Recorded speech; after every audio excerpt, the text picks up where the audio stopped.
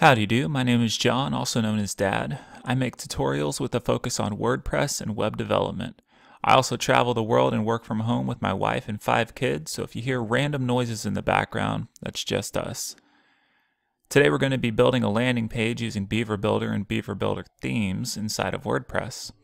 If you're not familiar with Beaver Builder, it is the best page builder for WordPress with a focus on simplicity and getting things done quickly. There is a free version, or you can pay for an extended feature set. I personally started paying for this once I realized how much time it saves me. Let's go ahead and dive right into the tutorial though. I have a fresh WordPress install with Beaver Builder and the Beaver Builder themes already installed and ready to go. I'm going to go over to my pages here to set up a landing page. You see I have the default privacy policy and the sample page inside of here that WordPress already added in. I'm just going to click add new at the top over my pages and we'll call this landing page. Go ahead and under the template here, I'm going to change it from default template to no header and footer. By default, Beaver Builder does have a header and footer built into it with the logo area, menu, and all of that normal stuff you would get inside of a theme. But I want to remove that completely so I can start from scratch. Go ahead and click publish when you're done. Now, typically you wouldn't publish pages right away, but I'm just working on a, a, sample site here, so I'm not too worried about it going live. And you'll also notice here I have the URL tutorials.simple.com, but it has a slash index.php slash landing page. I don't want that index.php to show, so I'm going to go into my settings and go to permalinks. And this can change the URL structure and the way that it displays on the front end to the user and is great for SEO purposes. I'm going to change mine to use the default post name, so it'll be tutorials.simple.com slash whatever the page is, uh, which in this case is just going to be tutorials.simple.com because it'll be my landing page, so there will be no URL. But at least it sets me up in the future so it can be slash about, slash contact us, slash whatever, without the index.php in there because that's just ugly. I'm going to go ahead and click Save Changes. And I will go back to my pages here. You'll see landing page should have been saved, and I'm going to click on this Beaver Builder at the bottom. What this is going to do is it'll take me to the front end of my website and allow me to edit it. Now it sees this is the first time here, so I can either take the tour or not take the tour. I'm pretty familiar with Beaver Builder, so I'm going to go ahead and skip that for now. Now over here to the right hand side, you'll see this little X and plus that brings up additional um, items that you can use to edit your page with. Uh, to the left, there is also an additional tool set that we're not going to get into right now, but this gives you the ability to save templates, duplicate pages, yada yada.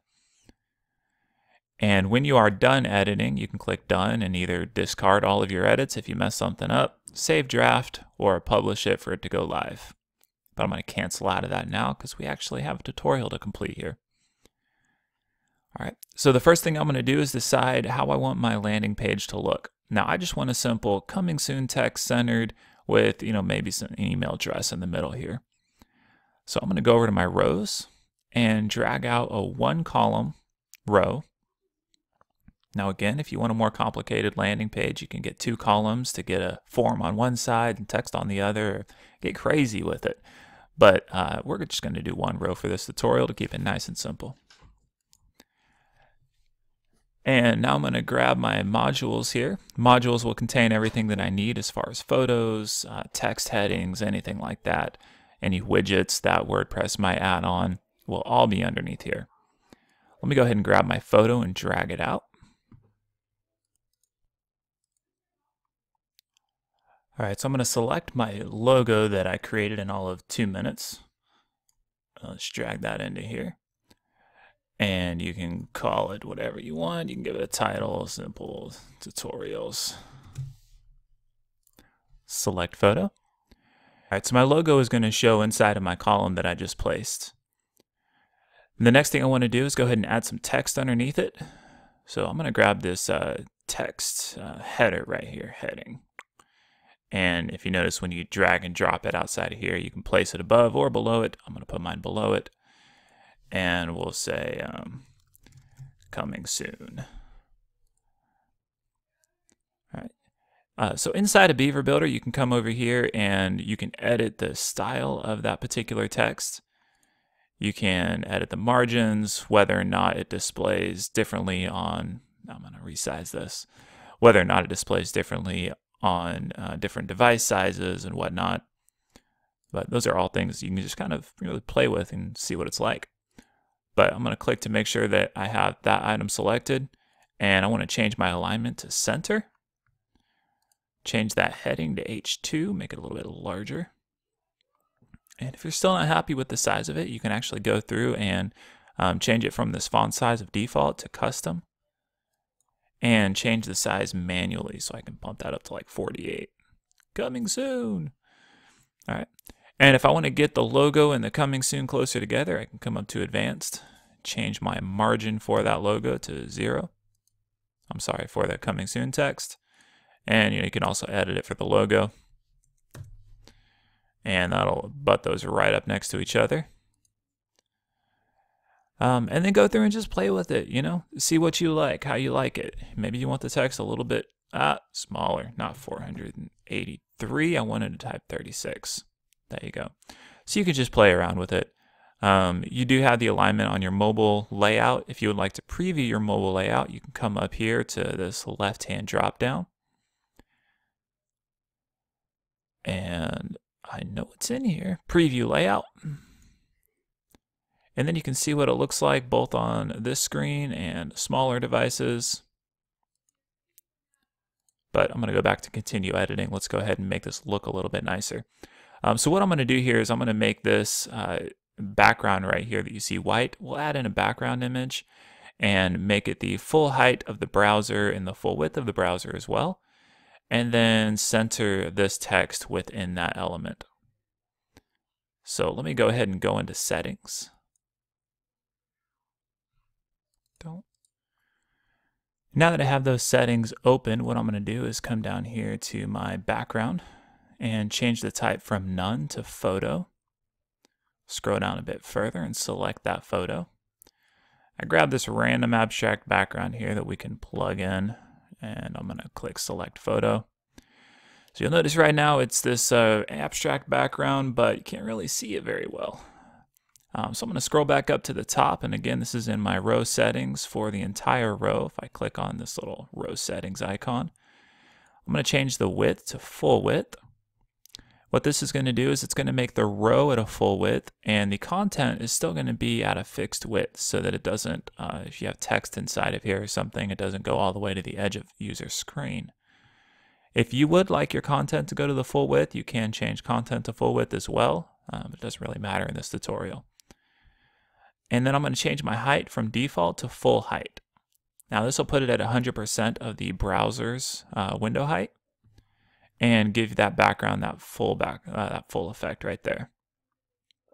Scrolling back down to my background photo, um, the repeat is set to none, position is center, scroll is scroll, and uh, the width is fill, which is going to give it that, or the scale is fill, sorry, which is going to give it that full scale effect. Now, some of the text gets kind of hard to read whenever you have it like this, um, so you can actually add in a background overlay and what this will do is I'm going to go ahead and plug in white, F, F, F, F, F, F, F, and pump up the opacity a bit here. So that's just going to give it kind of an overlay on the background so that your text can pop a bit more. I hit cancel. Watch this. All right, let's go into settings, full width, full height come down here, select a photo for the background image. Select photo, grab it, select. This is a good thing showing you how quick this can be. Background overlay, one, two, three, four. And opacity, 75. Now instead of clicking cancel, click save. There you go. Um, so nice and quick. You can come in if you want this text to say coming soon, and then uh, if you want to add a link below it, you can um, pull in. Let's add in a little button down here. Grab and drag that. And the button text can be uh, contact us in the meantime.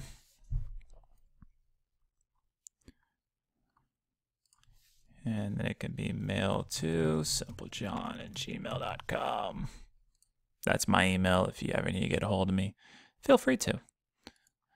We'll go into style of this and set the alignment to center because it's nice to center align things. And then that blue doesn't really go with anything else, so let's change the background to like an orange or something crazy like that. All right, so you can go in and play with this, mess it up as much as you want, do whatever you want with it. But this will give you the idea of having a basic landing page, and I super hope your logo looks better than that because this one is really bad. But uh, you can go in and set up this landing page, and whenever you're done, just click Done and Publish. And this is what the landing page looks like. Um, so I can go back to my WordPress tutorials uh, WordPress site here and um, the last thing I want to check to do is see if that landing page is showing as my home page, and it is not. So currently I have blog posts set up as my home page. So I'm going to go back into WordPress, go into my settings, and we are going to go into reading and change your home page to display from your latest post to a static page. From static page, I'm going to click my landing page, save changes. Now when I go back to WordPress tutorials and refresh that, you'll see my homepage is this incredible landing page that we've created. So if you are not a great designer or like me, you're trying to throw something together real quick for a tutorial and you don't like what you did, you can actually go in back into Beaver Builder. I'm going to come down to the bottom here of my column, click this little X button, and click OK. I'm going to delete everything. Now, if I go to the upper right hand corner to this plus sign and click on templates, you can actually see that Beaver Builder has predefined landing page templates. They also have content page templates. But I'm going to grab this coming soon landing page template and look at that. I have an entire coming soon page already done. I can go in and tweak the settings of it um, because I do like full height landing pages. Click save. And then just go in and tweak everything. Edit the icon. I want this to go to my Facebook page. So I change the Facebook URL. I mean, you can go through and um, take this predefined landing page, go in, make it exactly how you want it, click done, publish, and look, you have a beautiful landing page, and that was literally seconds. If you did like this tutorial, I'm sure I'll have other ones coming, but this is my first, so congratulations, you made it through it, and I will see you guys on the next video.